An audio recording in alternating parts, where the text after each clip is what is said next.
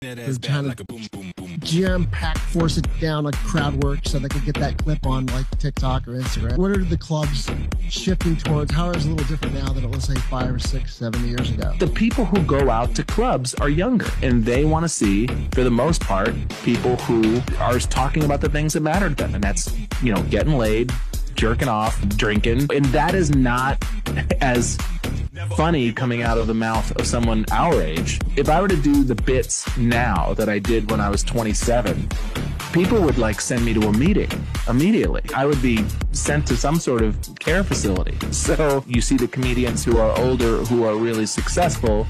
A lot of the reason you have to graduate the theaters is because that attracts a different crowd, an older crowd, and a crowd that's maybe willing to spend a little more money to come out to a show but it's not quite the same as that like hot, sweaty, packed comedy club, which is what we all love.